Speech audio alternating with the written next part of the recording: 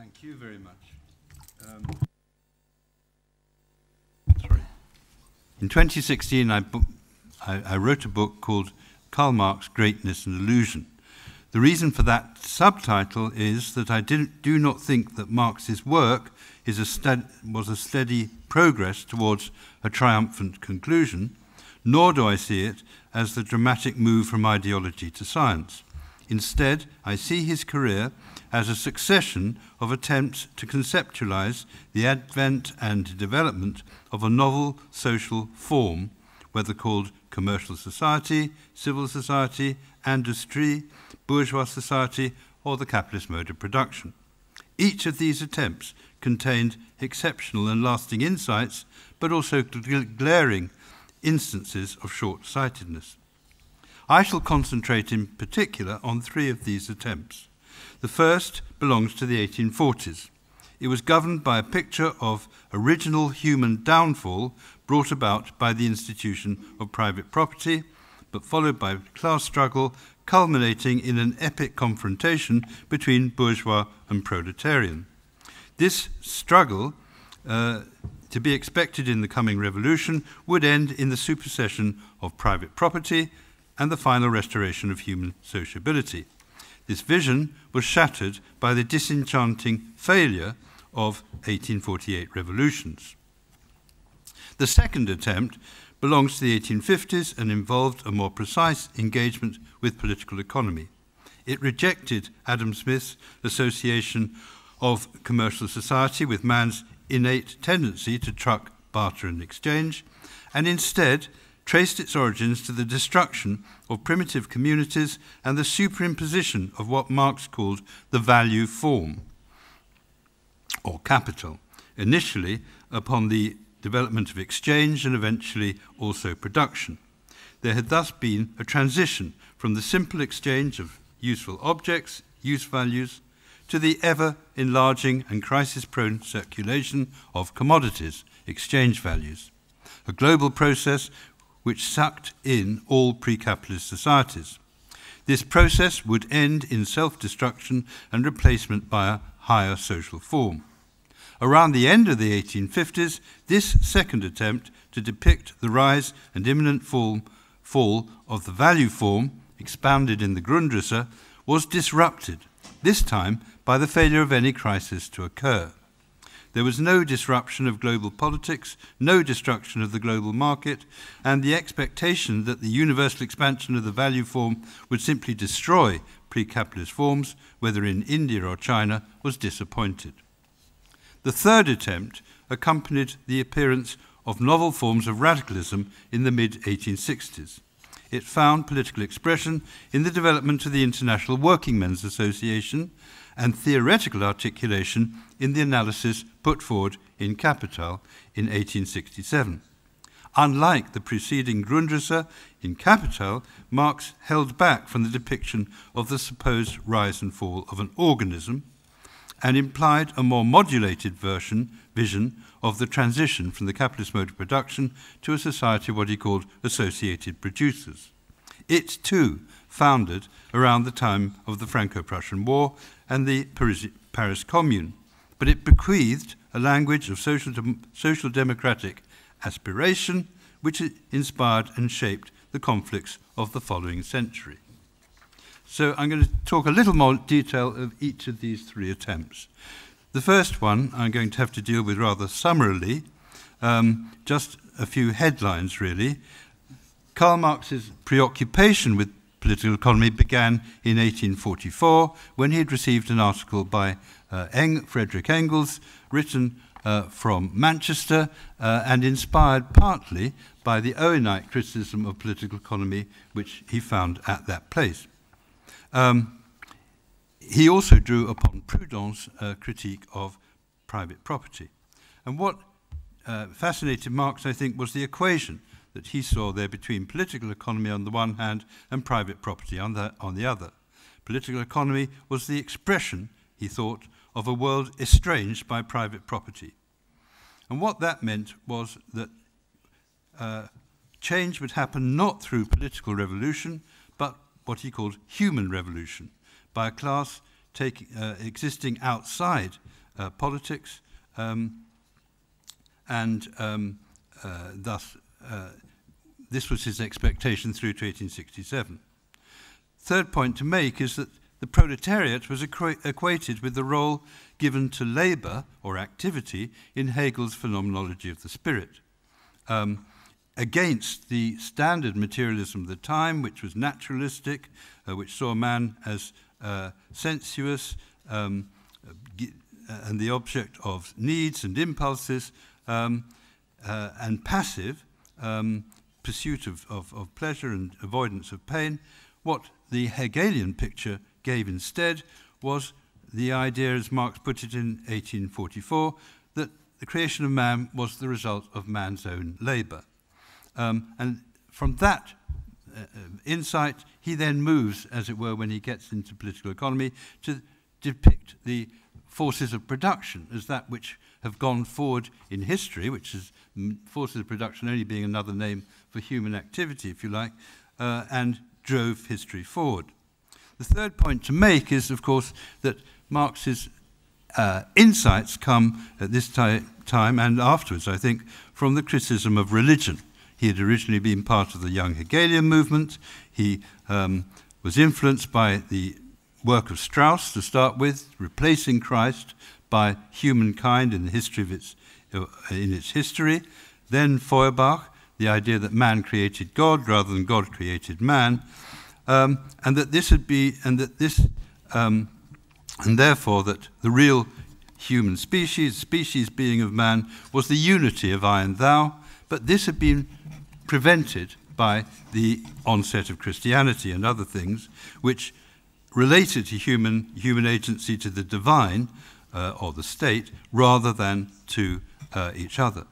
Um, and, the, and what this meant was that uh, the German working class, sorry, that the working class uh, had to be thought of as having a vocation.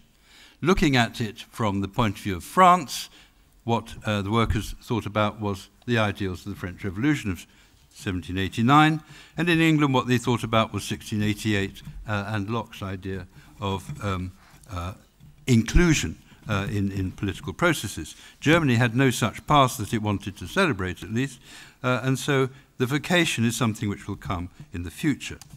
Um, however, uh, this vocation is precisely what was criticized by Stirner in 1846, uh, and um, arguing that the working that humanity did not have a vocation. That was still to use the religious vocabulary of Christianity, uh, and therefore it had to be removed.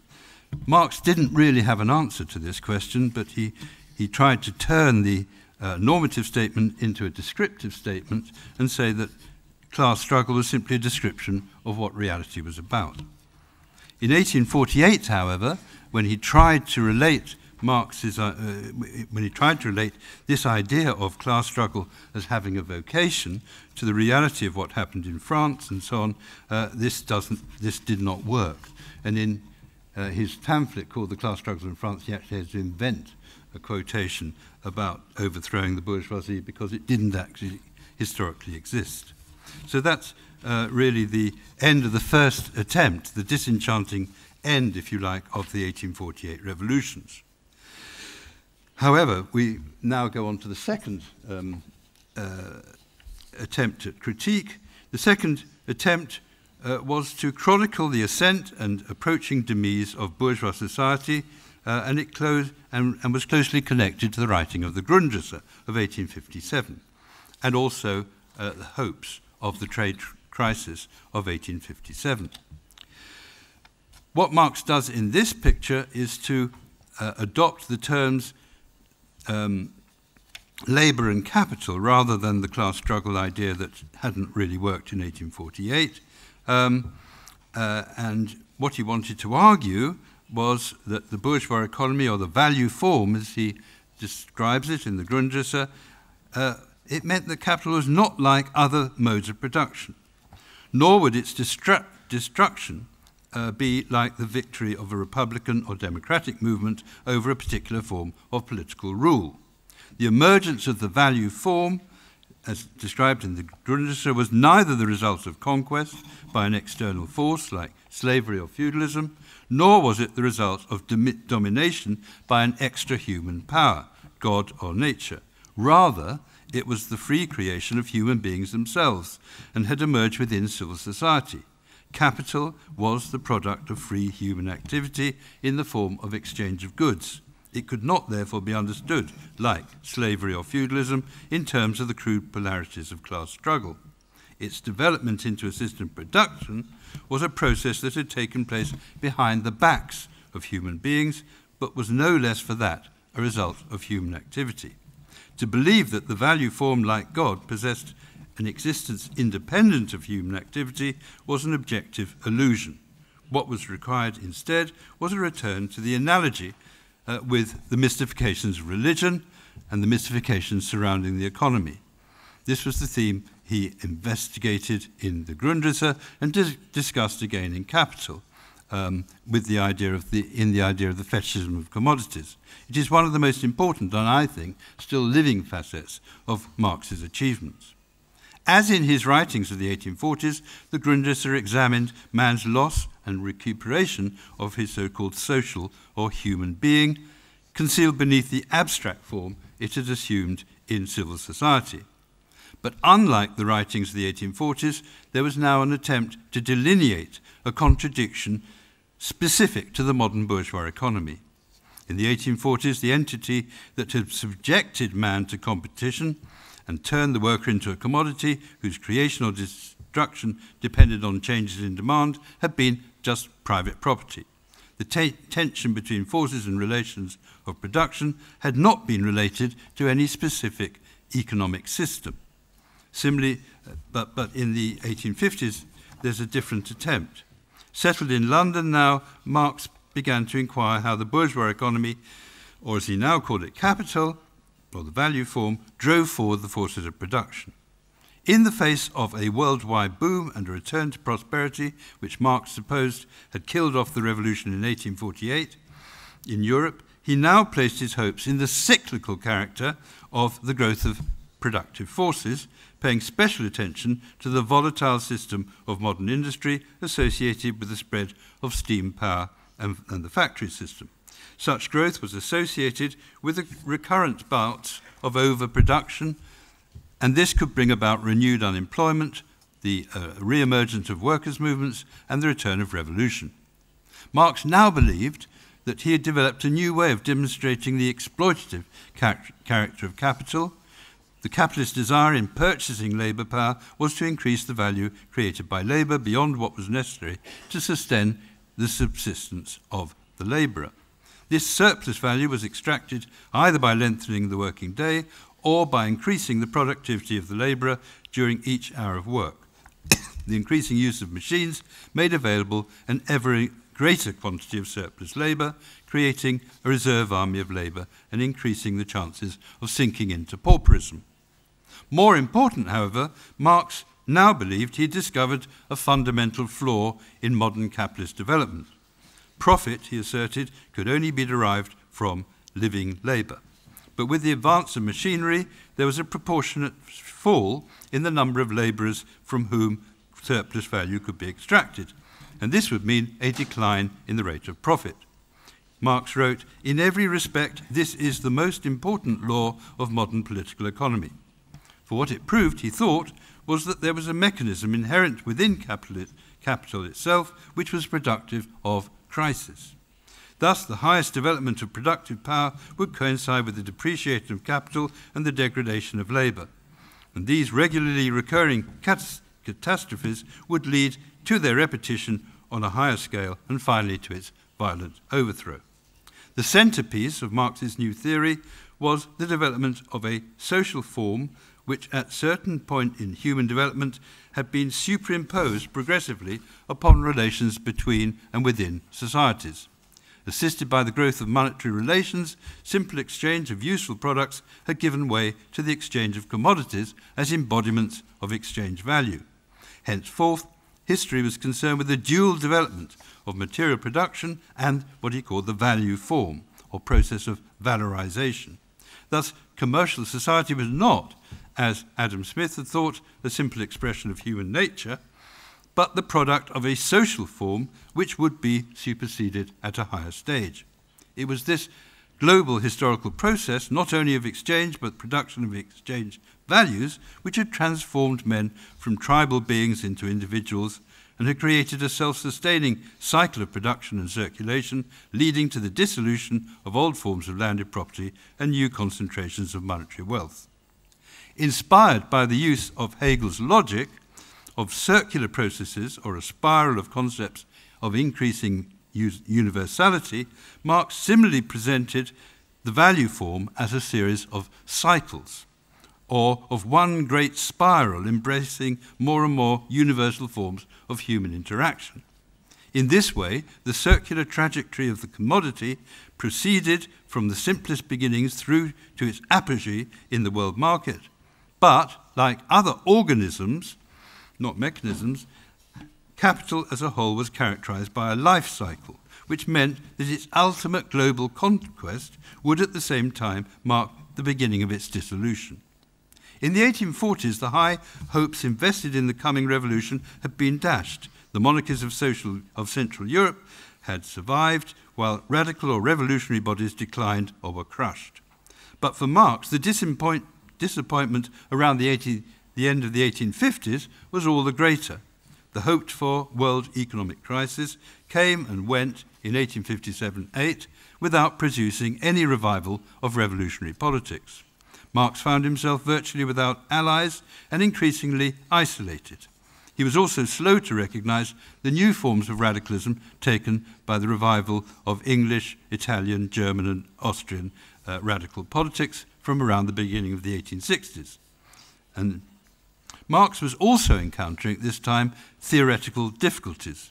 The idea of the spiral encircling the world with increasing speed and intensity and resulting in organic self destruction came to nothing.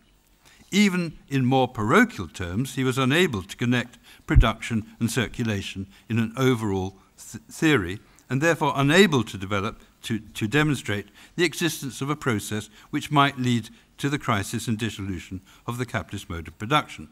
At his lowest point, Marx in this period exhibited increasing signs of mental disorder, expressed in alternating bouts of paranoia and megalomania. This is clear in his attitude towards the publication of The Critique of Political Economy in 1859. He attributed the failure of the book to a plot hatched by his publisher, Franz Duncker, and Ferdinand Lassalle, the man who'd actually made its publication possible. He avoided the more obvious explanation of failure, which would have been that the key chapter on capital, or the value form, was actually missing from the book. So, publishing that chapter, um, which had already been in preparation with, throughout uh, the 1840s and 50s, would take another further uh, 15 years. It would take another eight years to complete in 1867. The third attempt, and I'm coming to the end of my talk, the third attempt to construct a viable theory was far more uh, successful.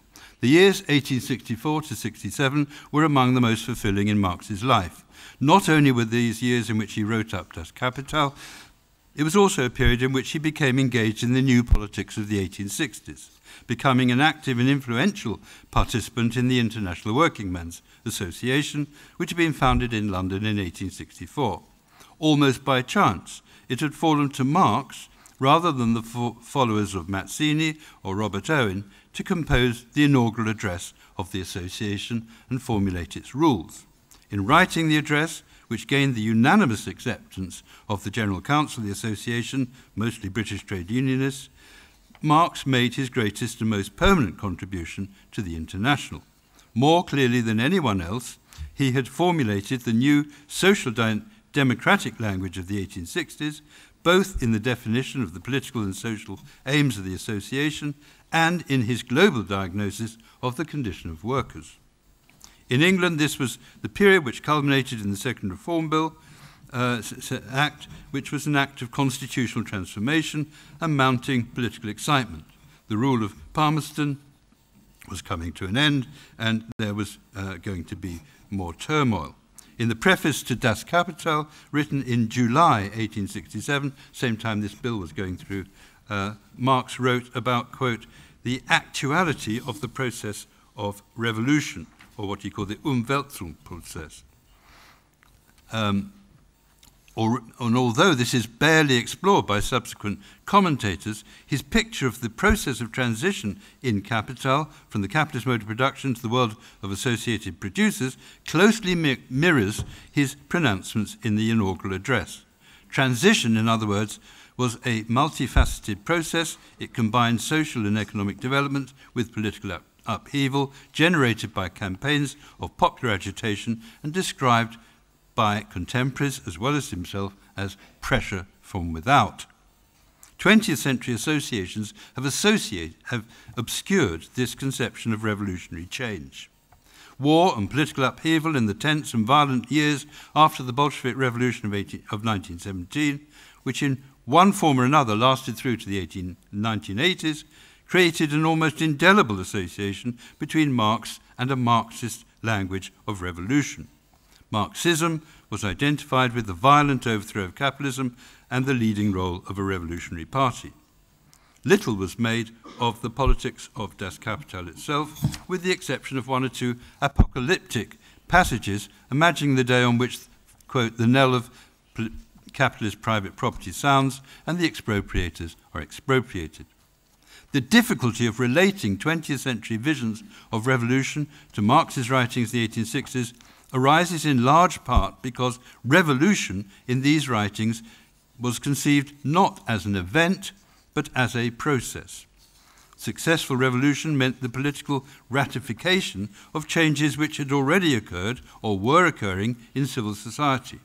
The greater the extent of such changes, the greater the possibility of imagining a revolution which did not need to be violent, the conquest by English workers of peaceful means of political supremacy in order to establish, quote, a new organization of labor, to quote Marx. The picture of the transition from capitalism to socialism was analogous from, to that from feudalism to capitalism as depicted in Das Kapital. Just as Marx's text showed how critical changes in civil society from the dissolution of the monasteries to the expropriation of the agricultural population from the land preceded the bourgeois state of 1689 and the Industrial Revolution, so comparable changes in, in, in, in, in uh, so comparable changes in contemporary England form part of a transition to a society of associated producers. One major instance of this process of, transition had been the success of the 10, 10 hours campaign, a movement to restrict factory hours. Marx emphasized the importance of this victory for the political economy of the working class, as he calls it, by contrasting, quote, this modest Magna Carta of a legally limited working day with the, quote, pompous catalogue of the inalienable rights of man. Part of the reason why this vision of revolution as a process was largely forgotten is that Marx's most striking examples of transition in civil society belonged to the section on circulation in Capital and was meant to appear in the second volume. In 1867, Marx wrote to Engels that his publisher wanted to see the second volume by the end of the autumn, and he thought that would be possible at least by next spring. And included within the projected second volume were meaningful examples of transitional forms, the new form of stock, stock company, the growth of cooperative factories, uh, were examples of how, quote, a new mode of production naturally grows out of an old one when the development of the material forces of production and the corresponding forms of social production had reached a certain stage. But the unpublished part of Capital, as we all know, still in an unfinished state, only appeared two or three decades after Marx's death and was brought out in two uh, arbitrarily separated volumes by Engels in 1884 and 1894. Marx did not publish the subsequent volume because the theoretical problems he encountered when he attempted to bring production and circulation together proved impossible to solve. Had it been possible to publish the second volume in 1867, it might have been sufficient to maintain, as Marx had asserted in 1859, that, quote, once the material productive forces of society begin to come into conflict with the existing relations of production, there would begin an, quote, era of social revolution. The mass campaigns and crowd pressures of the mid 60s could have been seen as the beginning of such an era. If Das Kapital became a landmark in 19th century thought, it was not because it had succeeded in identifying, quote, the laws of motion of capital. Marx had produced a definitive picture neither of the beginning of the capitalist mode of production nor of its putative end. But what he was able to do was to connect a critical analysis of the current capitalist economy with its longer term historical roots, and in doing so, to inaugurate a debate about the central economic uh, and social landmarks in modern history, which has gone on ever since. Thank you very much.